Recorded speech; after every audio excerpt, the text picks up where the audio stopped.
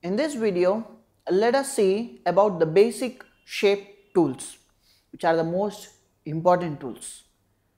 So, basic shape tools does contain as similarly like frame tools, but here they are called as basic shape tools. The basic shape tools are rectangle shape tool, ellipse shape tool and also polygon shape tool. So, all three shape tools are used to create the objects in the document, to adjust the images or to apply the colors or to make any kind of wrapping for the text. So, let us see this practically how do we, how we can use these basic shape tools.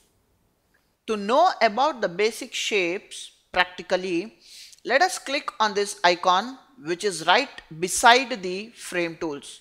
We have already seen these frames which is having rectangle, ellipse and polygon. Similarly, the basic shapes are also with the same name rectangle tool, ellipse tool, polygon tool.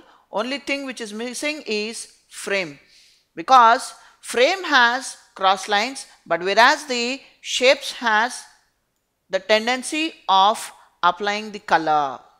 You can choose the object, you can apply the color.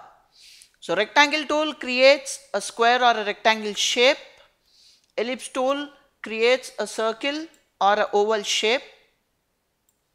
And uh, the polygon tool creates a multi-sided shape. Clicking on this shape, you can get the type in parameters. After choosing this basic shape, clicking on the document once will give you the type in parameters of the basic shape where you can type the width and height parameters. Let's say I need 45 mm by 45 mm and the number of sides are 6. So let us make this one to 8 and then click OK.